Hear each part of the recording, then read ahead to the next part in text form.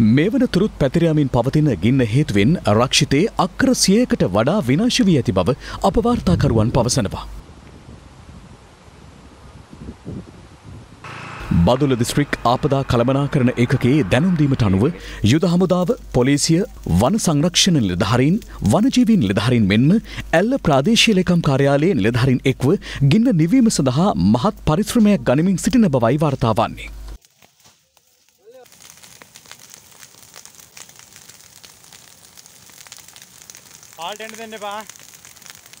මේ අතර තවදුරටත් ගින්න පැතිරයාම වැලැක්වීම සඳහා ගොන් හමුදාවේ බෙල් දෙසිය දොල් හවර්ගේ හෙලිකොප්ට යානාවක්ද ගිනි නිවීමේ මෙහෙයුම සඳහා යොමු කොට තිබෙනවා.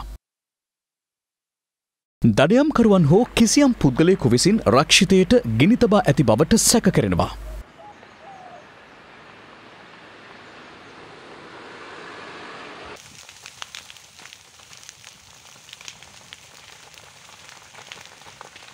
ශ්‍රී ලංකාවට ආවේනික වූ පක්ෂීන් සමනලුන් මෙන්ම වනසතුන්ද වෙසෙන අති සංවේදී පරිසර පද්ධතියක් ලෙසිනුයි රාමනා ඇල්ල රක්ෂිතය හැඳින් වෙන්නේ.